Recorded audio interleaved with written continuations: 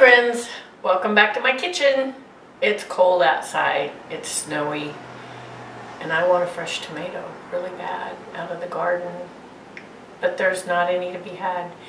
And I want some fresh greens, and I don't have any of those either. Sometimes I grow those in the lights in my basement, but right now I don't have any going. so what I want to do today is show you how to sprout sprouts in a jar. It's very simple, you don't need a lot, you don't even need any dirt. Um, but it makes a very nutrient dense, nutrient dense um, little salad you can have. Um, you can put them on sandwiches, soups, salads. I like to make a simple little salad with chickpeas and my sprouts and some dressing that I make. I make my own dressing and we'll do a video on that another time, but it's really simple and once you do it, you will not want to go back to bottom dressing. So anyway, um, you can sprout with all kinds of sprouts. There's broccoli here. I get mine from Natural Grocers, but there's lots of places that have them. Online you can order them as well, and my gardener has them, I know that. Um, these are brown mustard, so these will be spicy. These are radish, they'll be spicy. Um, these are mung beans, those are really good, and they're bigger uh, sprout than the others. And these are clover, really good. Clover actually has a lot of medicinal properties as well. Um, what I'm going to use today is something that I already have open, and it's a three-part. It's alfalfa, clover, and, or no, not clover, alfalfa, radish, and broccoli. So we're going to use this one. Um, so what you'll need is a jar, simple, um, some water, which I use distilled. Use whatever you're comfortable with, but I don't like the chemicals in my water, so I use distilled water. We're going to need some kind of a mesh. I actually cut this out of a paint strainer. Um, a brand new paint strainer bag's never been used for paint. But you can cut mesh, you can get sprouting lids, um, but I just use this with my ring for my wide mouth jar. I do use a wide mouth jar because uh, it just works easier for rinsing the sprouts, but you can use whatever. Um, so we're gonna take our jar, I put about that much water in it. We just wanna cover the seeds. And I'm gonna take about a tablespoon of seeds. I'm just measuring this in my hand.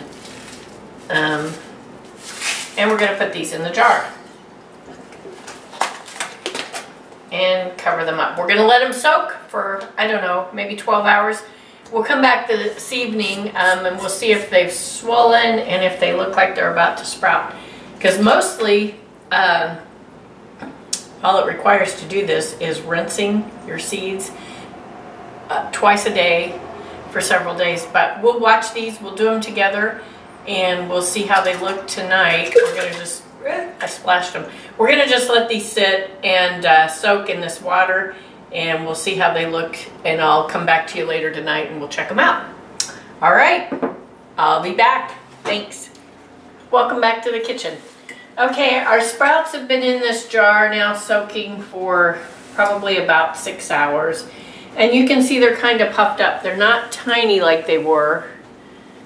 Um, sorry, the lighting's bad in here, but they're a little swollen and puffed up and that's what we want. We want the water to permeate that hard outer shell on those. So what we're going to do next is we're going to drain them and we can just tip it up and drain them like that. And then we're going to rinse them. Now from now on we're not going to let water sit on them. We're just going to rinse them. That's distilled water I'm using, some clean distilled water. Swish them around, empty the water out, and then I have a bowl here. We want to leave this inverted so that excess water will drain. Um, so we're going to put this in a bowl that will hold it like that so that it'll be on a tilt. And we're going to let it sit until tomorrow morning. I'm going to rinse and drain these tomorrow twice. Tomorrow morning and then tomorrow evening. And uh, I'll check back with you as soon as I see some sprouts happening. And uh, we'll get this going. Thanks. Good morning. Um, we're back with the sprouts. It has been four days and look at our sprouts. Aren't they pretty? Kind of clumped in here, but I have been rinsing them. Um, now, they've all grown about as much as they're going to grow. I could have actually put more in this jar, uh, but I didn't. And it always depends on what kind of sprouts you're growing. Um, but I'm going to set these now. I've kept these in a dark place over here on the other side where they didn't get direct sunlight from the window. But on the last day now, I'm going to set these out where they're going to get sunlight. We're supposed to have sunshine today. So I'm going to set these here and let them green, and they will. They'll green up, get really green. So I'm going to let these sit here in the sun, and then we'll come back when I get home from work, and we're going to make a little salad out of them so you can see the, hopefully see the difference when we get home. Uh, hopefully my light is good. Um, here, it's not.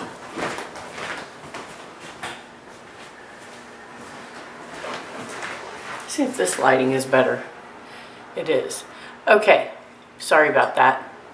So um, after I set these out, you can look at them and then we'll make a quick little salad out of them for dinner tonight. Thanks. Hi friends, welcome back to the kitchen. I want to finish up with the little sprouts that um, I showed you this morning. See, I set them in the sunshine today. See how green they are? They're beautiful and they're packed full of nutrition. So I'm, I have rinsed these several times um, and I am going to take them out. There's a few that didn't sprout in there. Um, I'm not going to use those, but I'm going to take the sprouted ones and put them in my bowl and kind of pull them apart with my fingers. We're going to make a nice little salad for dinner tonight. Um, you know, we often think of salad as lettuce, onion, tomato, you know, the typical traditional salad, but it doesn't have to be. Okay, we've got our sprouts in the bowl. And we're going to put some chickpeas in there. I'm going to use about a half a can for the amount of sprouts that I have.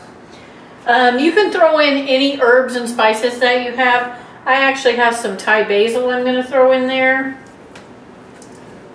And I have a little bit of jalapeno. That'll be good and spicy. And I have some green onion, diced green onions that I'm going to put in there. Just a little bit. Okay, we're going to toss that with a dressing. I actually made my own dressing, um, which I'll do another video on making your own dressing, because if you're still buying store-bought dressing, I encourage you to look at your ingredients in it and see what kind of oils you're eating. This one I've made with extra virgin olive oil, two parts of that to one part red wine vinegar. That's one of my favorites. But then I've added some other stuff to it for flavor, and we'll talk about that in another video. So I'm just going to coat the, or, you know, toss this with this just a little bit and make a nice little salad here to go as a side with my dinner.